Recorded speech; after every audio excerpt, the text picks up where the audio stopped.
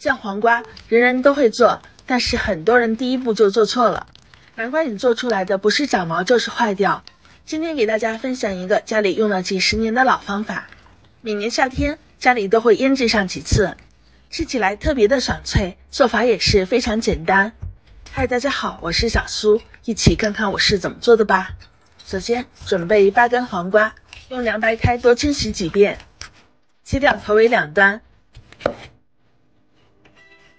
中间对半片开，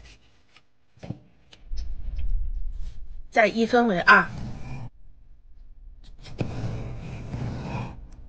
去掉瓜瓤，这样吃起来口感会更好，腌制出来的黄瓜才会更加的清脆爽口。再次一分为二，每一根黄瓜像我这样给它切成八条，装入大盆。这样的一个大勺，加入一勺白糖，翻拌均匀。用白糖来腌制黄瓜，比用食盐腌制会更加的好吃，有营养。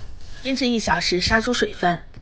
喜欢吃辣的朋友，准备上一些小米辣去蒂，对半切开，去掉辣椒籽，再准备十头大蒜，切片。装盘备用。锅中油热，这样的勺子加入一勺花椒，一大勺干辣椒，一小勺辣椒面，最小火炒出食材的香味。关火晾凉。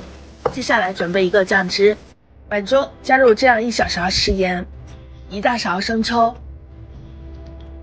两大勺山西老陈醋，一丢丢就装蚝油提鲜。再倒入熬好的辣椒油，把料汁搅拌均匀。现在黄瓜也已经腌出了很多的水分，每一根都变得柔软有韧劲儿。倒出黄瓜汁，直接喝了。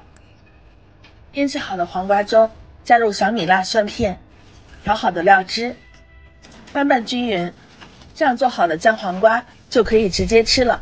想要更加入味，我们可以放在冰箱冷藏腌制三到四个小时。这是腌制了一晚上的效果。这样做好的酱黄瓜看着就非常的有食欲，真的是太好吃了，吃起来爽脆可口，麻辣鲜香又入味。接下来准备一个干净消毒过的容器，腌制好的黄瓜一次性的吃不完，可以放在冰箱冷藏密封保存。夏天天气热，吃饭没有胃口，可以来上几根，下酒又下饭，上桌比大鱼大肉都还受欢迎。无论是配上白粥，或者是馒头、米饭，都特别的好吃。一次可以多做一些，半年都不会坏，快试试吧。